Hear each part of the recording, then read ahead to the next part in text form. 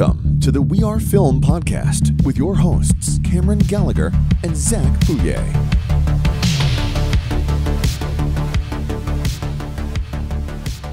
So yeah, I appreciate you taking the time to to chat with me. I uh, I know we've been chatting over the years about shot lists, and I never got a chance to actually sit down and you know kind of ask you some questions, and especially about you know some of the, the awesome work you've done and and the stuff you've gotten to accomplish, which obviously is sweet, and obviously a little bit about shot lister, which I do love. So yeah, excited for it.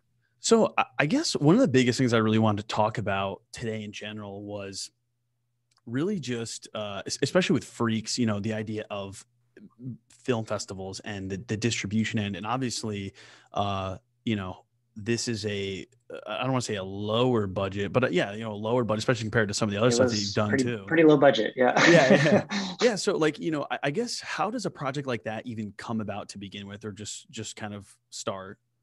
yeah. Um, you know, I made the film with uh, my best friend, and he and I were both directors that had sort of were lucky enough to start getting directing work for hire at sort of lower budget things where people were paying us to direct, but it wasn't the type of work we really wanted to be doing. It wasn't that rewarding of work. You know, we knew we had stories in, in ourselves that we could tell, but every time we wrote scripts, every time we got attached to scripts we liked, they just never happened.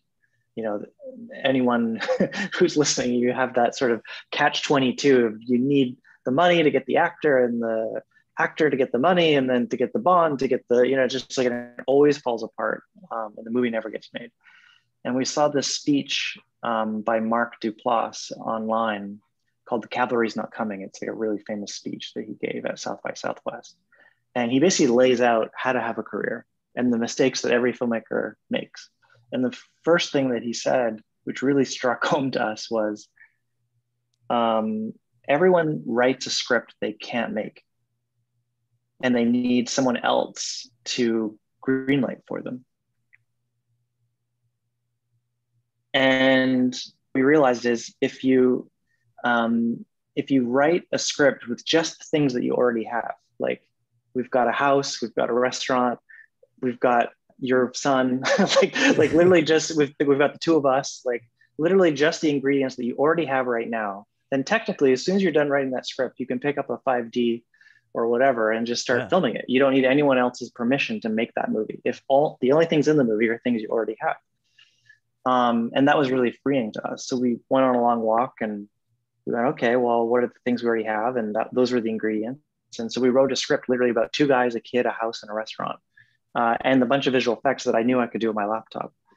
And so that script could have been made for zero dollars. That was the that was the truly freeing part of it. Now we didn't make it for zero dollars. Right. we ended up make uh, we ended up making it for about a million dollars. But the way that that happened was as we had the script, um, we started showing it to people, and and slowly a friend would be like, "Oh, I'll give you fifty grand," and then an uncle was like, "I'll give you a hundred grand," and oh wow, now we're at one hundred fifty grand. We can make this movie for one hundred fifty because we can make it for zero. And then it was like, okay, well maybe we don't have to act in it because we actually have money now to pay some people. So then we got casting director, and that led to getting some bigger actors, which led to getting some more money, and eventually it grew to a million. But the key was that every step when we were at 500,000, when we were at 750,000, we could just say, cool, well, we can make the movie for this. So at no point were we giving the keys away to someone else. If someone said, well, I'll give you money, but only if you get Tom Cruise, only if, you know, you raise another 10 million or whatever it is, we, we didn't need to, to take that money. And so it allowed us to raise the money uh, with partners that were just excited to make the movie no matter what. And that's what actually led to the movie getting made no matter what, instead of not getting made. Um, and it was so freeing. And then, but then it was truly independent. It was like nine people put wrote their checkbooks. We're making a movie. Uh, we put that money into a bank account, made the movie, and then uh, you know we were lucky enough to get it into the Toronto Film Festival and then sell it for two million. So everyone you know doubled their money. That's awesome. And I say, I think that I'm glad that you're so transparent about that stuff because that's what I love to bring to this process is, and it's something that I'm learning obviously as well too, is, you know, the, the, the business end of film is something I think a lot of creatives forget about. And, you know, you Yeah. want to forget about it a lot of times. You don't want to be Yeah, like, oh no, let's not think about that. But unfortunately it's, you know, it's a reality. we we didn't want to produce it. You know, we we tried to ask everyone we knew to who was a producer to produce the movie, but anyone who's produced a $1 million movie never wants to produce a $1 million movie again because it's right. so hard.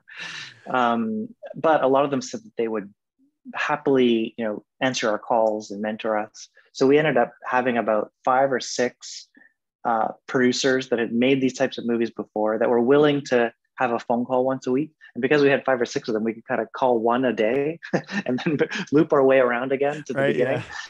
Uh, and so Adam and I basically learned to produce that movie, having never, you know, we produced shorts and we produced commercials and small stuff, but there's a lot of different things about a feature that you never had considered before, um, especially on the sales side and, and all that type of stuff that we had no clue about. And we just met those uh, moments with curiosity and transparency. When, whenever we would talk to someone and they'd say, "Hey, uh, you need a, you know, BX396 tax form or whatever," you'd be like, "Oh, great. What is that? And where do I get that?"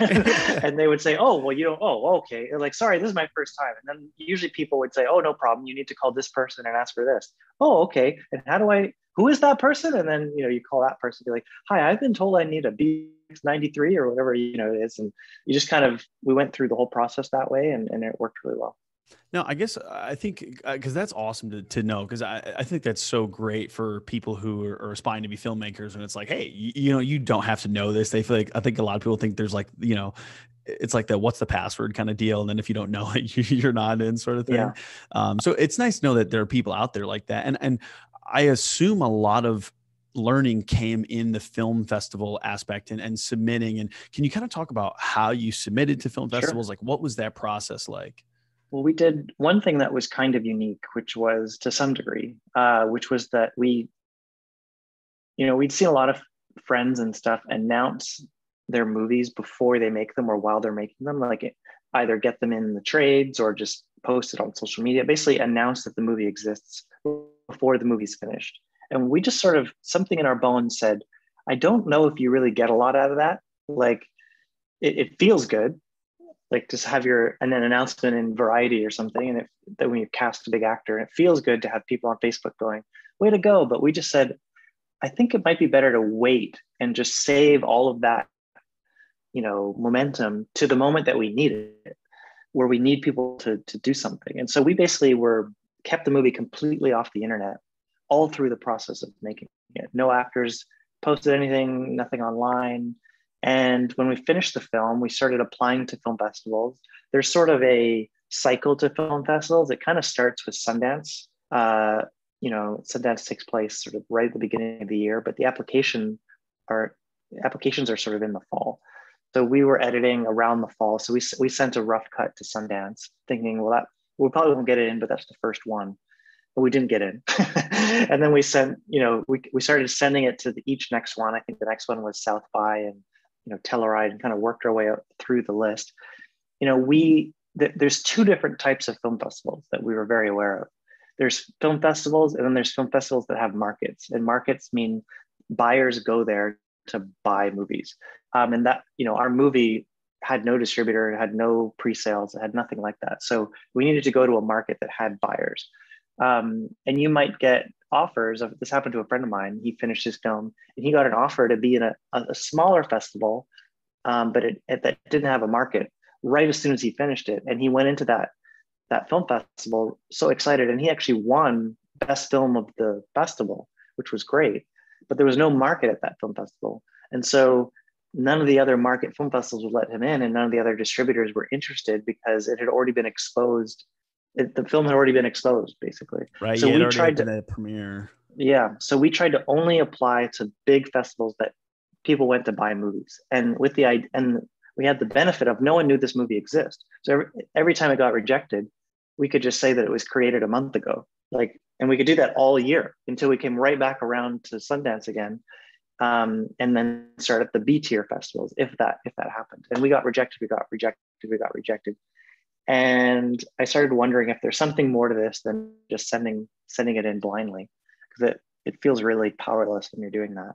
I talked to a friend of mine that had been in the Toronto Film Festival the year before, and I said, you know, we're getting rejected like crazy. What what's the secret? What did you do to get into TIFF? And he's like, oh, just talk to the programmers. Um, you know, he's like, here's the email of the Toronto programmer and uh, just let them know you have a film when you send it in. Like make that personal connection, which had like never occurred to me. I always assumed festival programmers were these sort of dark lords that sit in a room, you know, silhouetted that just hate movies and you know, because I'd just been rejected by them my whole life, so I just assumed they were they were evil. And then I reached out to the programmer. He got back to me within 20 minutes. He was like, "Oh my god, that sounds great! I'd love to watch it." Set up a uh, sent the film to him, and two weeks later he called. He's like, "You're in. We love the film. We can't wait." You know, and it, oh, it became a process. You know, over the we got into TIFF, which was a pretty big festival, and from TIFF, we got invited to lots of other festivals. This was something that was new to me is that when you get into a certain festival, lots of programmers go to those festivals and then program for their festival. And then you kind of work your way down. So TIFF was our world premiere. From there, we got invited to Sitges, which was our European premiere. And from Sitges, we got invited to sort of the genre festival of every country in Europe. So, um, and these are all invitations. So we weren't having to pay the application fees or anything. It's just they saw the movie and they said, "Oh, please come to France please come to Brussels, please come to Amsterdam. Um, and then from there, we would get, you know, invited to the, uh, the other three tiny festivals in France, you know, and you kind of, it keeps kind of branching down. And at all these festivals, meeting all of the programmers, realizing they love movies more than anyone because they're watching 500 feature films a year, you know, because they're, they're consuming so many movies. They have, it's just that they, they have to, you know, they can't program everything. Um, but they are people you can develop relationships with. And so at the film festival at toronto when we were there we took the programmer out for beers you know we got to know him we hung out with him at the parties we just became friends with the programmer not in a fake way we actually quite liked him but knowing that now we have a relationship with the toronto programmer. And every film festival we went to we did that. And usually the, the programmers want to hang out with the filmmakers. They they've invited you to their film festival and they want to get to know you. And that's a lifelong uh, relationship that can be really helpful. And even if you're a short filmmaker you can do the same thing. If you have a short film that gets into a, a bigger film festival go there and meet the feature programmers and hang out with them and because they love programming the features of people that have had their shorts premiere at that festival they love that story of like oh you came here with a short and now you're coming here with your first feature and so developing a relationship with the programmers, I think is basically the key to getting into film festivals. Otherwise, they just have so many movies, you just kind of get lost in the mix.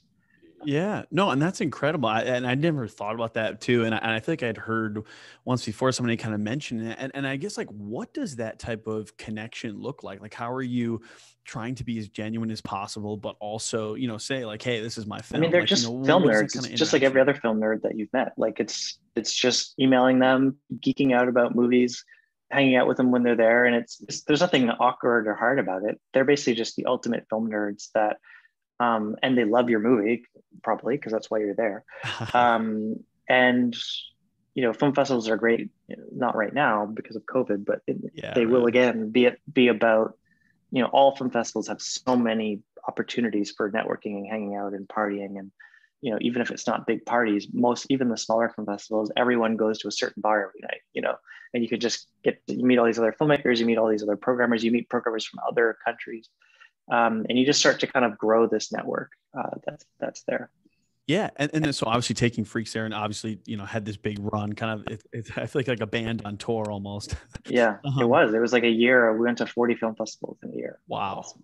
And, and so you know when you're at these film festivals, what does the the, the, the getting uh, you know obviously in this case you had no distribution but you end up selling it what what are those conversations are they people coming to you are you going to them sort of how does that look like yeah, so the key, um, there's sort of two keys to selling your movie at a film festival um, that I would really, really, really recommend having in place. Um, it's not just you are in the film festival completely alone, your movie premieres and everyone comes running with money. What, what, there's actually a machine behind it. And the two parts of that machine are your sales agent and um, your marketing team, your publicist. So a sales both of these are things you put in place many many months before the festival. So when we got into tiff we um, we knew that this was going to be our one opportunity to sell the movie. Tiff has a, is one of the biggest markets in the world. Um, plus it was a canadian film and it's a canadian festival so we'd have a certain amount of you know spotlight there as well. Um, So we started getting introduced to sales agents, and they basically they're sort of like real estate agents. They represent you in the sale, and they have a lot more relationships with all of the buyers. You know, they're they're basically de- dealing with all of the buyers, the streamers, the distributors, uh, the, even the small distributors, every day at every festival all year round. Like they just fly from festival to festival to festival every year. So they take 10% of whatever your film sells for, but they have all of the relationships and all of the knowledge and all of, and, and you want to uh, get them, you know, three months, four months before you get to the film festival, because there's a lot of other things that happen. Like, for example, they'll work with the programmers to make sure that your movie premieres on a good night.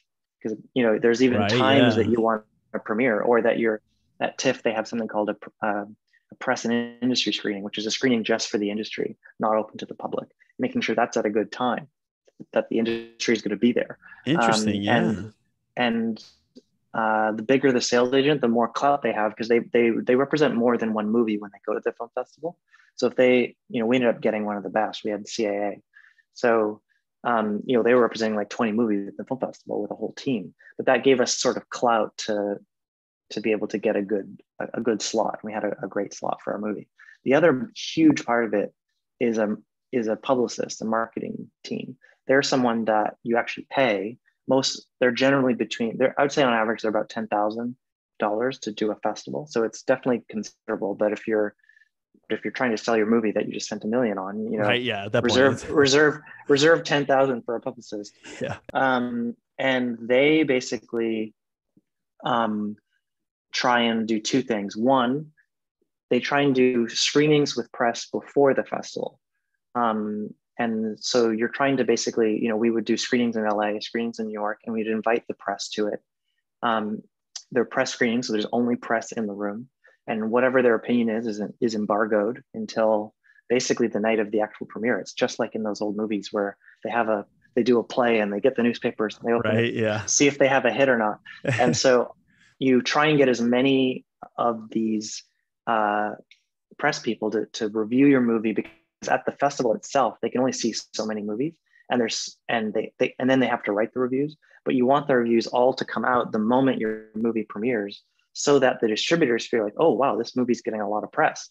And a hopefully the reviews are positive. Right yeah but if they are they're they're, they're all coming out at the moment your movie premiered in all the trades and all the different newspapers and you know. And so distributors feel like oh they got to check this out if they if they weren't there or they see oh this movie's doing well. I, I, saw it last night and the press seems to like it. So it creates momentum there. The other thing that um, publicists do for you at the festival um, is get you lots of interviews and things at the festival itself. Um, so you know a lot of press are there and they set up sort of press days where you just interview a whole bunch of people at once. Um, and that stuff again is sort of just helping get the momentum going you know at the festival itself and helps with other festivals. Um, and then beyond that you know adam and i we just did a whole bunch of guerrilla marketing like at the festival. We we did all sorts of stuff we weren't allowed to do. Like we just we, we stuck up it. posters like in all the places. You're not allowed to stick posters up. You know we were stick putting stickers on things. We were just like everywhere we could we were putting postcards you know, on tables that we weren't allowed to put postcards on. We were just like blanketing the place with anything and everything we could, um, which our publicist was very nervous and basically didn't want to know anything about. Right. Um, like, but we were like, I don't care. This is our one chance. Like, yeah, oh, and we yeah. and we did it in a we did it in a in a fun way where like because our film freaks is sort of about you know persecution of people that are different and we put up all these like sort of government looking posters that were like report freaks. They've been spotted in the area. Call this number if you see freaks, which didn't even say anything about the movie. But generally, people know it's Toronto Film Festival. It probably has to do about a movie in some way. If you called the number, it said we had a 1 800 number that we made that if you called it, it said, uh, freaks have been reported in your area. You know, everyone's very concerned. We're going to have a public meeting at the uh, Tinseltown number one theater at 7 p.m. on Saturday you know, please come to the community meeting if you're concerned about freaks, which was basically our screening time. Um, That's so, so clever. Uh, lots of people were Instagramming and taking photos and calling the number, and then it, and then it, it would say, please leave a voicemail of your of the freak that you report of, that you saw. and then so lots of people were, were leaving these like hilarious, strange, you know, voicemails. That's great. I love that. that's such like a clever way. I feel like, and I don't think I love hearing stuff like that because it's such a such like a you can tell the passion behind it and i think that's always fun to see that obviously and i feel like people i mean you know distributors and, and whoever we met with a distributor he was like we were telling about the movie he goes and we told him about the poster he's like oh my god i saw that poster and he whipped out his phone he's like look it's the last thing i instagrammed and literally the he didn't even know it was our movie, but he just thought it was a cool poster because we had a cool. We hired like a a poster designer, you know, one of these sort of yeah, yeah. art house poster designers to do a, a very iconic looking poster. Um, and he just had Instagrammed it because he thought it was cool. So it did, you know, it, it's hard to say how much these things work, but at least that one that one guy noticed. Right, absolutely, yeah. So I mean, once that happens, and obviously you create that buzz, actually selling the film what type of pro- and obviously i know you can't get into too much maybe but like what type of process does that actually look like yeah i mean the so they they tell they tell you you know the myth is that you're going to have this middle of the night bidding war and you know you're going to shake hands in a hotel lobby at four in the morning and you know that that doesn't happen it usually takes several weeks and we're like okay and then you know we got a call at 9 p.m. Like it's going down. Get here. Get to this hotel lobby right now. And we sold the movie at 4 a.m. Um, in, with a handshake. Uh, the but what happened in that scenario was, um, you know, hopefully you have multiple bidders. If not, um, and basically your sales agent is sort of checking in with each of the distributors that have seen the film, seeing what they think. Uh, it might not happen right away, um, those different distributors are are making offers, um, and the offers can kind of come into two camps. Um, there's basically if you did what we did, which is we just raised money, we there was no rights that had been sold on the movie whatsoever. Because sometimes you have to sell rights off to, to make the movie. You have to get pre-sales, which means you sort of sell the movie for a certain territory ahead of time. Um, or you might, if you're like a lot of Canadian movies need to have a Canadian distributor to get certain monies from the government. So you might have already sold Canada. In our case, we hadn't sold anything, which was part of our plan because the big streamers, they want what's called worldwide rights, which means that they want to be able to buy the rights for the entire planet at once. Um, and there's not a lot of distributors that want worldwide rights. It's basically just the streamers and some of the biggest studios like Universal or Sony. Um, but we had that available. And so there, we're talking to those types of people. But then you're also talking to um, international distributors you know a distributor from uh, from you know germany a distributor from japan that just want to buy japan. And those numbers those amounts are much smaller. They're like you know 50000 60000 type of things rather than millions. Um, and so you're kind of keeping that in your mind. And what ended up happening with us is they um, the company that bought it uh, didn't want to buy worldwide rights. They just wanted to buy North America and all English countries. Um, and so we had to do some math on like, okay, well, how much could have we sold those countries for, which our sales agents helped us with. We ended up selling it to them. Um, and then we had a bunch of other countries left over that they didn't buy, right? Basically, all of the non English speaking countries that are outside of North America. Um, and we had already had previous conversations with, with um, sales agents. It's different than the sales agent that there's sort of two types of sales agents. There's the ones that are looking to do the domestic sale, which is sort of your big US sale that are there at the film festival with you. Um, and they're trying to get the worldwide sale. Uh, that was what CAA was doing. But we had another sales agent that we'd been talking to um, to do the international sales, which is selling off each of those tiny little countries, which is how most indie films make back their money. Most most producers how they make their money. Um, and when you're doing these deals with international uh, sales agents, there's usually two types of deals you can do. One is, um, and it goes for selling to distributors as well. There's sort of two choices. One is getting money up front, and the other is owning a big piece of the money that comes down the line. So if you get the money up front, you basically get a check right now, whether anyone ever sees your movie again. But you basically either get no money or almost no money out of any future revenue.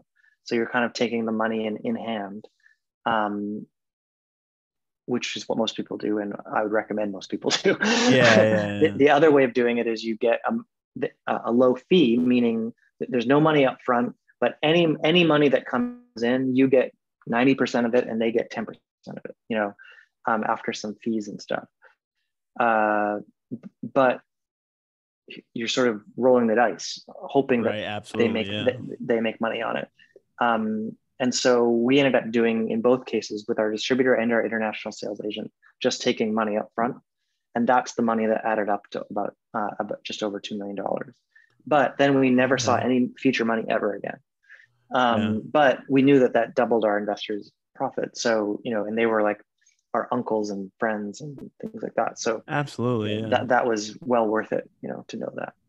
For sure. Now, I guess to kind of switch gears a little bit. So you've worked obviously with you know doing freaks, uh, this lower budget type film, and then you also worked doing some. Again, I don't know here, but I feel like doing stuff for for Disney would be a lot Yeah, different is, yeah. workflow and sort of. So I would love to just know like what is what is the difference between working on something low budget like that and then doing something for Disney where I'm assuming there's a lot more control. Yeah. So the differences, like you said, are um, way, way less creative control. I mean, you still have, depending on on what it is, a TV show, you you have sort of less creative control than you do on a on a movie. Like on a movie, you're still sort of the author, but you are you have many masters that you're serving, and every decision is overseen by lots of people. So you still have a lot more oversight and way less creative control. Um, but you have a lot more money to play with.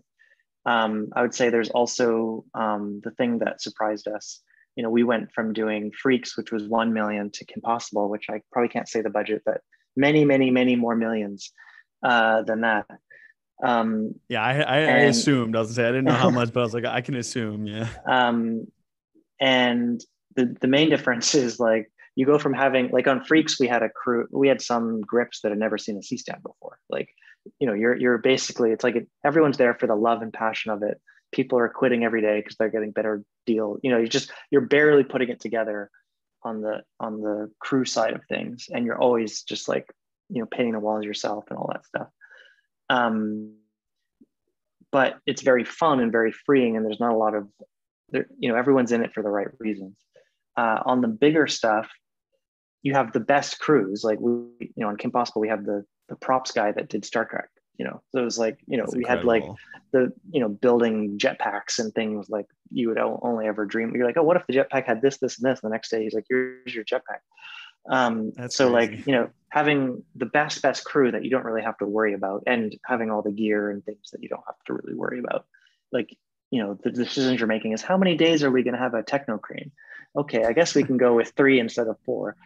Um, so like those those types of decisions are are less stressful, but it is just as stressful as making an indie film for a completely different reason, which is like you were mentioning, the bigger the budget, the more uh, politics and stress there is, the more that all of the executives, all of the producers, all of the people in charge um, are stressed out and worried and and second guessing things. And there's just so much more sort of and that's something you get better and better at as you direct more and more is like dealing with the people side of it. Like the, the bigger budgets you get into the actual physical making of it the shooting of it the, the gear the working with actors all that sort of becomes very simple and sort of you get used to doing it. But the, the skills you're learning are all about people skills. It's all about politics. It's all about how do i get this idea through these 10 people that are terrified? You know how do i convince the studio that what they're asking me to do is terrible even though you know they're my boss and and i want to get employed again you know and all of those are the type of skills that you learn and you have to deal with. And luckily i co-direct so it's really great to have um you know a best friend to basically be like okay you know everyone around us you know is nervous and doesn't think we can pull this off. How do we convince them that we can um, you know how do we how do we uh, increase morale? How do we give them confidence? How do we um, convince them that we know how to do this cheaper than they think it's going to cost you know all those types of things Yeah, so I mean, how does that like indie kind of mindset? I mean, does that still move over to? Because I feel like it could be plus or minus. You could bring it over, and it could be like, you know, uh oh, I'm I'm too you know low budget thinking on this, or maybe the opposite, where it's like, wow, that low budget mentality came into real handy somewhere.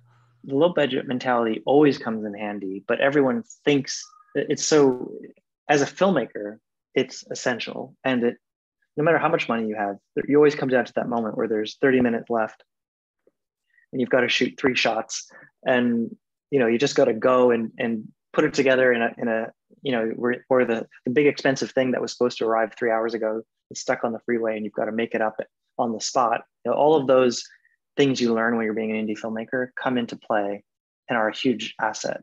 The problem is everyone else thinks of indie filmmakers and indie filmmakers' knowledge as a detriment. They think, oh, well, you don't know how to spend money. Oh, well, you don't know how to um, do things in the real leagues. You don't really know how to, to play with a hundred extras. You don't really know how to use a techno crane. You don't really know like how to look at a million dollar visual effects budget, which of course you do. It's not like it's the exact same thing. It's just bigger, but they don't think that you do. So the problem is that it is a huge asset to your skill set and it makes you a better director. It's just everyone else actually looks down at it. And so you have to kind of work doubly hard to show that you can do these things. And pretty quickly over time, they start to realize, oh, wow, actually, he saved our ass there, or she saved our ass there because, um, you know, they were able to move quickly. They didn't need to spend three hours to do one lighting setup. Um, you know, all those types of things end up being really helpful to you. But people look down at you um, for not having you know it, it's weird like it's it's easier to make things with more money it's harder to make things with less money. So if it would if i was a producer and i had someone that had only ever made movies for 20 million dollars and i was asking them to do it for a million that's somewhere where i'd be worried about the director's experience. But they think of it the other way around. If you're doing a 20 million dollar movie and you've only done a $1 million movie, they think, oh, well, you don't know how to spend $20 million, which believe me, it's easy. Right. Yeah, it's yeah. easy to spend money. I was going to say, yeah, it just flies out the, flies out the door there. And I feel like, are there any things in particular you can think of like times whether it was on freaks or whether it was on you know Kim Possible or, or any of the stuff you've done where there was a decision where you know because i think a lot of younger filmmakers because we do have a lot of younger and newer filmmakers that listen they may not even understand like what is a really difficult decision to make on set? You know is there a some a situation that came up where you're like wow i would have never thought of this until i was here on set and it's happening? Yeah i mean it's always you know, hopefully it's all done in prep. So like the better you you prep things, the less likely things are are going to go haywire and go wrong on set. It's always has to do with time. It always has to do with running out of time. You always run out of time every day. So the, you get better and better at, at sort of making decisions that don't put you in a position where you're running out of time on stuff that's really, really important. Um, you know, so doing things like scheduling your most important stuff at the beginning of the day scheduling your hardest stuff at the beginning of the day and and and slowly working your way through it so that at the end of the day all you're doing is inserts and like the shots of someone walking down a hall into a room and like the simplest simplest simplest stuff is what you're doing in the last hour so that that stuff can be rushed. You know an insert that you shoot at the beginning of the day can take 45 minutes. An insert you shoot at the end of the day can take five minutes. It's the exact same shot. It's just if it's at the beginning of the day it takes 10 times longer than if it's at the end of the day. So Everyone's just, just move like them all. lazy about it yeah, it's true. So just move all those inserts to the end of the day. Um, but as far as something like um, that I was sort of surprised by and learned learned by, I mean, really the first film that I did, which was a, a low budget sci-fi channel monster movie, you know, one of these cheesy B movies where a bunch of people get eaten every 10 minutes. Um, everything imaginable went wrong on that shoot. We had two force majeures which is unheard of. Most film most filmmakers only have a one in their career. We had two in one movie. Um, you know, we had every day some major disaster. Um, to the but and at the time, I just thought this is what movie making was because it was my first movie. I just assumed that was normal. Um, but I later realized that it was a huge asset to go through that because I learned a lot of things to deal with that un, un, unpredictability. You've got this great plan, you show up, and then um, you know things go wrong that you can't uh, you can't you could have never foreseen dealing with. And what that started to train me to do because it would happen every day which usually doesn't happen usually that doesn't happen on a normal movie but on that movie right. it did. Yeah. Um, i would just have my plan for the day and a plan of things i'll do when something goes horribly wrong. So like i always had like this is really simple and we didn't get it yesterday or we didn't you know we need these inserts for this montage or whatever it is. And i started just we just had this list of the oh shit list of the stuff we would do so you know today is about shooting the scene with this truck okay get the bring in the truck and it gets stuck in the in like six feet of mud that you know okay well now it's going to take them an hour to dig this truck out of the mud and we can't shoot anything without it oh well we have the oh shit list let's go while they're digging it out of the mud, we're going to go do this. And, and everyone would know and have been prepped that this is sort of at the bottom of the call sheet. Like this might happen. It's not planned, but if something goes wrong, we're gonna that we're gonna do this. And every day we would go and do that while something went wrong. And that's I've never had to pull that out that often again, but it's definitely a great mentality because instead of you having your plan and then freaking out that your plan isn't happening, it's I have a plan for when the plan fails. And that and that's really satisfying to kind of pull your backup plan trigger. Oh, that's awesome. I think that's such a good idea too, because I feel like the, the, the anytime I ever assume something's going to go right, it never does. And yeah. then when I assume it's going to go wrong, it always does. So maybe if I just assume everything goes wrong. Yeah, I, I do the same thing in my shot list. I, I, I mark all the shots in my shot list that are things I'd love to get, but I don't absolutely need to have, so that as things are going wrong, I can be moving those shots, you know, later in the day or just skipping them entirely um, without having to give too much thought to it because I've already gone through and said I have to have this. I, I really want this, but I don't need it. Well, I'm glad you brought up shot listing too, because that was going to be my last thing to talk about. Obviously, I've talked about you know the shot list app a million times, and obviously I'm a big fan. So I think um, you know what made you like what what kind of brought that just about in general. It was that movie I was just talking about, the sci-fi monster movie. Um, it was my first time making a you know a feature length thing. I had made a bunch of shorts, um, and really it was just the first thing was a realization of like, okay, in a short film, you know, maybe you've got 30, 40 shots, um, and I was like, I was starting to shot list the movie, and I was like, wait a minute, like. I did some quick math. I'm like, I'm looking at like a thousand to fifteen hundred shots in this thing. Like, I'm not gonna be able to put that in Excel. like, because at the time, like the state of the art for was you put it in Excel and you print it out on a piece of paper and you hold that yeah. piece of paper on, on set and then you sort of cross things off or scribble in the margins, like doing the math of like how much time you have left in the margins. And it was right around the, it was the same year that the iPad had just been released. Um, and I was like, okay, well, it'd be, I need a better way for managing this stuff. Um, and I, I actually found a, a, program called FileMaker, which is sort of a fancy version of, of Excel. Um, and built basically a prototype of what ShotLister was, just for personally, just to kind of manage, you know, grouping shots by scene and, and then putting those shots into a shoot day so that I could see, okay, we're gonna do this shot, then we're gonna do this shot, then we're gonna do this shot. Sort of like a one-liner like you'd have for scenes, but with shots. And then I realized, oh, I can actually put how long I think each of these is gonna take. And then I realized, well, actually the iPad knows what time it is. So it can figure out based on what time it is and how much shots are left if I'm ahead or behind. And I basically, FileMaker at the time had a, prototype, uh, had a, an iPad app. So you could load your FileMaker file on an iPad. And it was really clunky, um, but it worked. And when I was on set, you know, everyone was like, wow, that's amazing. Uh, you know, you should sell that. And, and at the time I was sleeping on my mom's floor when I was making that movie. And she used to be a TV producer and she looked at it and she's like, wow, that's amazing. You should make that as an app too. She immediately saw like the value of it. And I was like, well, I don't know how to program and I don't have money to pay someone to program.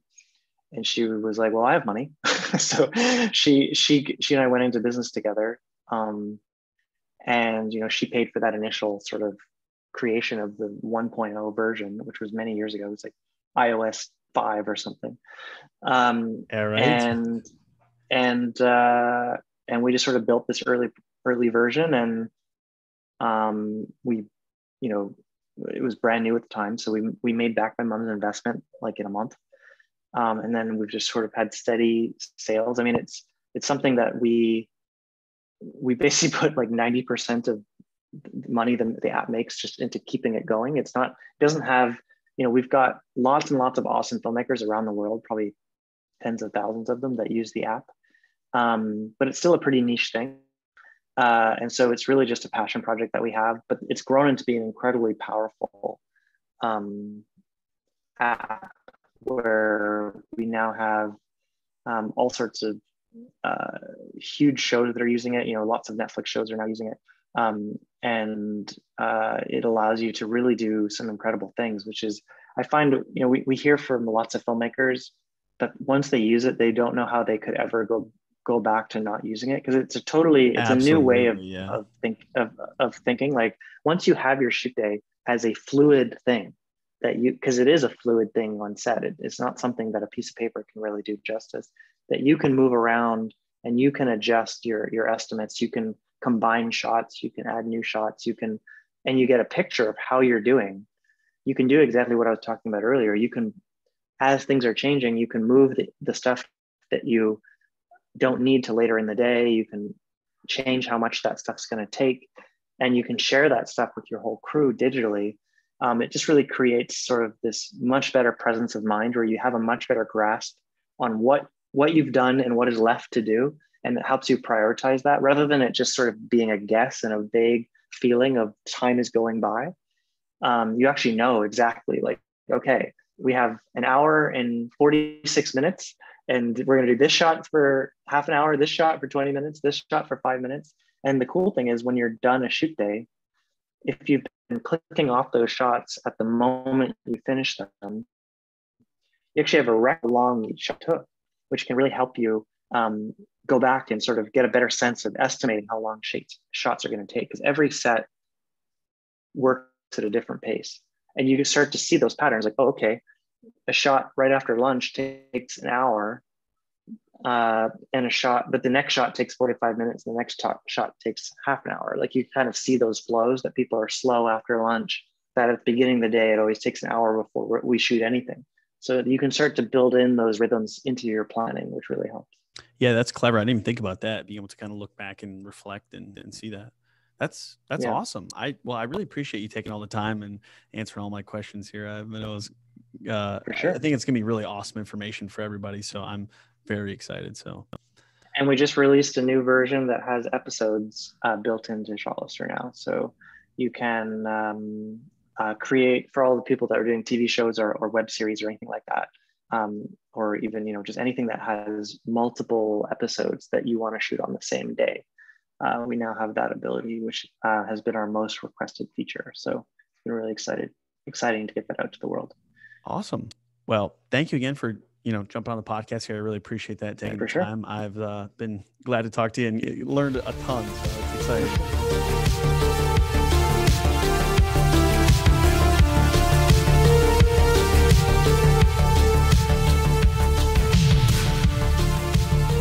Are Film. The We Are Film podcast is brought to you by the Black Mountain Visuals Podcast Network.